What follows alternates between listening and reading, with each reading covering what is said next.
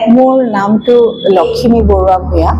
মই এই ব্যৱসায়টো কৰি যিটো পঁচিছ বছৰ। মই যিটো কাষ্টমাৰৰ লগত থিয়ৈ থিয়ৈ পিন্ধাই যিখিনি কাম কৰিছিলোঁ সেইটোৱে মোৰ মানে অলপমান শৰীৰৰ পেইন আৰম্ভ কৰিলে বিষ আৰম্ভ কৰিলে।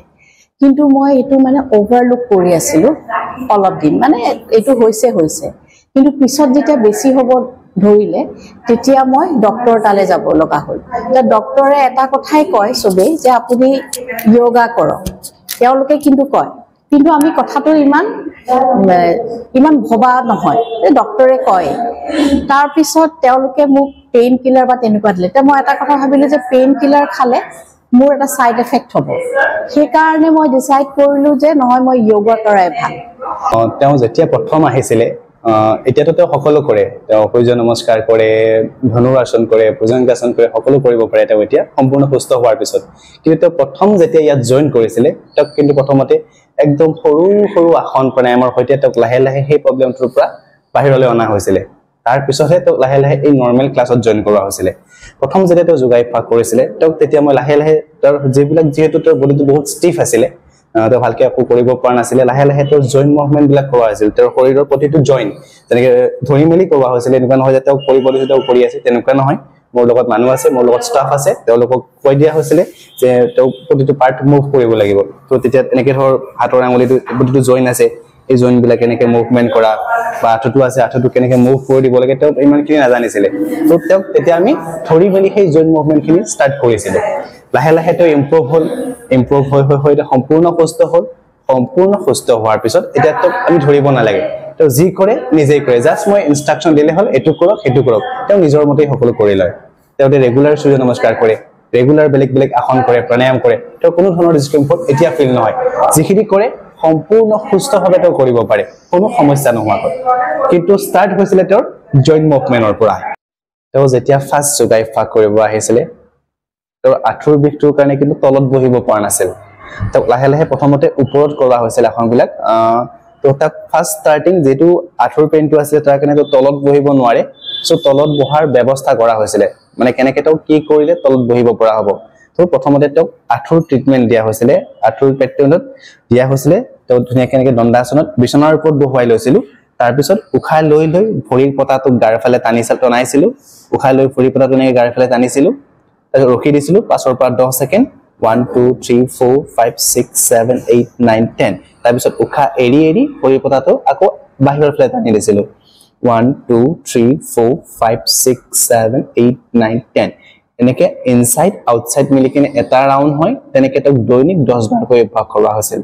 আৰু তাৰপিছত তেওঁক কৰোৱা হৈছিলে টচটো ৰোটেট কৰিব দিয়া হৈছিলে। তাকে প্ৰথমতে এনেকে ইনহেল কৰি ক্লক ৱাইজ টাৰ্ণ কৰিছিলোঁ টেন টাইমছ তাৰপিছত আকৌ অপজিট ডিৰেকশ্যনত কৰিছিলোঁ এণ্টি ক্লক ৱাইজ হিচাপত দহ বাৰ। এনেকৈ তেওঁক এইটো কৰোৱা হৈছিলে। তাৰপিছত তেওঁক কৰোৱা হৈছিলে যিহেতু তেওঁৰ নীৰ ফ্লেক্সিবিলিটি একেবাৰে নাছিলে তলত বহিব পৰা নাছিলে তেওঁক মুভ কৰোৱা হৈছিলে। প্ৰথমতে তাৰ কাৰণে আঁঠুটো ভাঁজ কৰি হাতৰ আঙুলিটো লগ কৰি লাহে লাহে ভৰিখন যিমানখিনি পাৰে গেৰুৱাটো আপোনাৰ বাটুক লগাবলৈ চেষ্টা কৰিব দিয়া হয়। পাঁচৰ পৰা দহ ছেকেণ্ড ৰাখি পুনৰ ভৰিখন চিধা কৰিব দিয়া হয়। তাৰপিছত আকৌ অপজিট ভৰিখন কৰিব। এনেকৈ দুখন ধৰি মিলি দহ বাৰ প্ৰেক্টিচ কৰোৱা হৈছিল। এইখিনি যেতিয়া হৈ গৈছিল তেওঁ লাহে লাহে ইম্প্ৰুভ হ'ল। তেওঁ তাৰপিছত বিচনাৰ পৰা এৰি তলত মানে মাটিত বহিব পৰা হ'ল। যেতিয়া মাটিত বহিব পৰা হ'ল তাৰপিছত তেওঁ লাহে লাহে ট্ৰিটমেণ্ট বাঢ়ি বাঢ়ি গৈ আছিলে তেওঁৰ আসনৰ সংখ্যা বাঢ়ি বাঢ়ি গৈ আছিল। তাৰপিছত তেওঁক আন বেলেগ ধৰণৰ আসন প্ৰাণায়ামবিলাক কৰোৱা হৈছিলে যেতিয়া তেওঁ তলত বহিব পৰা হ'ল।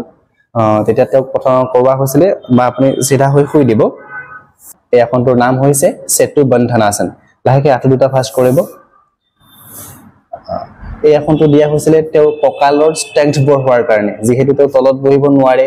তাৰ কাৰণে তেওঁৰ কঁকালৰো ষ্ট্ৰেংথটো বহুত প্ৰয়োজন হয়। কঁকালৰ ষ্ট্ৰেংথ নাথাকিলে তেওঁ তলত বহাৰ অকণ অসুবিধা হয়।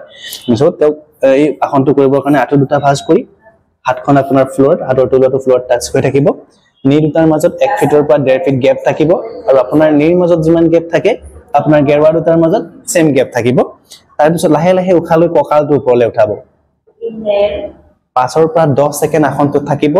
One two three four five six seven eight nine ten তাৰপিছত লাহে লাহে উশাহ এৰি কঁকালটো তললৈ নমাই দিব। এনেকৈ এই আসনটো দৈনিক দহ বাৰকৈ অভ্যাস কৰোৱা হৈছিলে। আৰু এইখিনি হোৱাৰ পিছত তেওঁক এটা স্পেচিয়েল প্ৰাণায়াম দিয়া হৈছিলে। যিটো প্ৰাণায়ামৰ উদ্ভাৱক হৈছে স্বামী শিৱানন্দ সৰস্বতী। স্বামী শিৱানন্দ সৰস্বতী মহাৰাজে এই প্ৰাণায়ামটো উদ্ভাৱন কৰিছিল।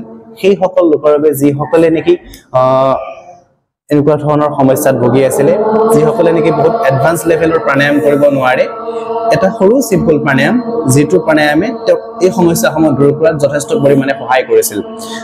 তো এই প্ৰাণায়ামটো কৰিবৰ কাৰণে প্ৰথমতে সবাসন অৱস্থাত শুই দিব। তাৰপিছত উশাহ লৈ দুয়োখন হাত মূৰৰ ওপৰলৈকে লৈ আহিব। আৰু লাহে লাহে উশাহ এৰি দুইখন হাত কঁকালৰ কাষলৈ আকৌ ঘূৰি আহিম।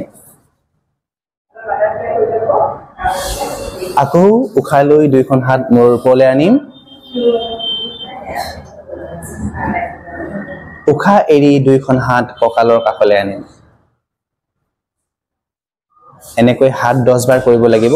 হাত দহ বাৰ হোৱাৰ পিছত এখন এখন ভৰি কৰিব লাগিব। প্ৰথমতে উশাহ লৈ সোঁ ভৰি উঠাব। উশাহ এৰি নমাব।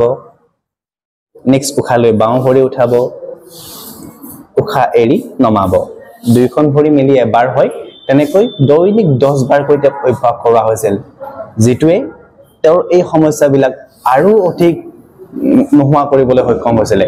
মোৰ শৰীৰ যি ধৰণে বিষ অনুভৱ হৈছিলে তাৰ লগতে মোৰ খুব ষ্ট্ৰেছ আৰম্ভ হৈছিলে। কাৰণ পাঁচ বছৰ আগতে মই মোৰ দেউতাৰ এটা প্ৰণৱ বৰুৱা কলাক্ষেত্ৰ বুলি এটা মানে গেলেৰী এটা কৰাত কৰি আছিলো। সেইটো মই গুৱাহাটীত থাকি তাল মানে নগাঁৱত গৈ পেলাই কৰিবলৈ মোৰ এটা খুব অসুবিধা হৈছিলে। আৰু মই খুব ষ্ট্ৰেছ অনুভৱ কৰিছিলো। ইফালে মোৰ ঘৰখন আছে মোৰ ব্যৱসায় আছে গোটেই মানে ষ্ট্ৰেছ হয় মই এটা খুব শ্ল' হৈ গৈছিলো।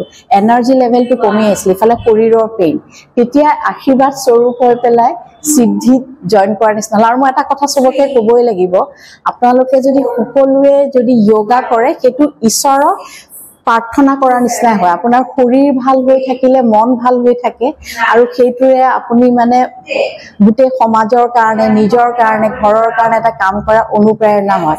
আৰু নিজৰ শৰীৰটো ভাল নাথাকিলে নিজৰ মনটো ভাল নাথাকিলে আমি নিজৰ ভাল লগাখিনি চবৰ আগত বিলায়ো দিব নোৱাৰো। সেইকাৰণে মই ভাবো য়োগা এটা ব্লেছিং যিটো ইনাৰ যিটো আমাৰ ষ্ট্ৰেংথ সেইটো বঢ়াই দিয়ে।